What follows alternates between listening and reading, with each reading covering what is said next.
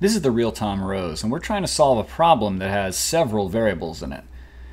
Um, this problem has variables in the answer choices, and my usual counsel would be um, to try to plug in numbers. And you could do that here, although it becomes difficult to plug in numbers, and the main reason why is we start out with this, n, 3n, and m.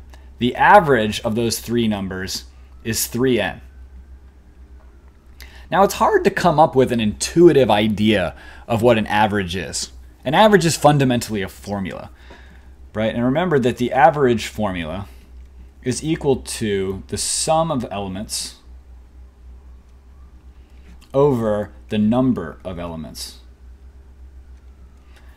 So let's plug into that formula and see if we can move forward from there. We're told that the average is 3n. And if we sum the three elements, we'll get n plus 3n plus m divided by 3.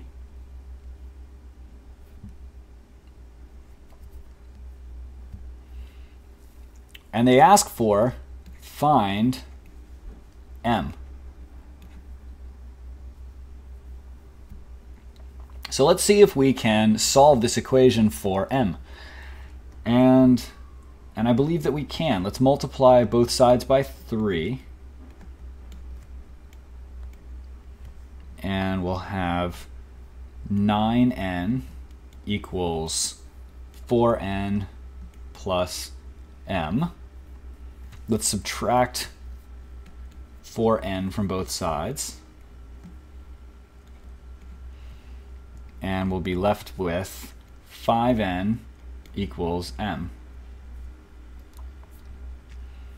And is this and one of our answer choices? Yes, it is. That's answer choice E.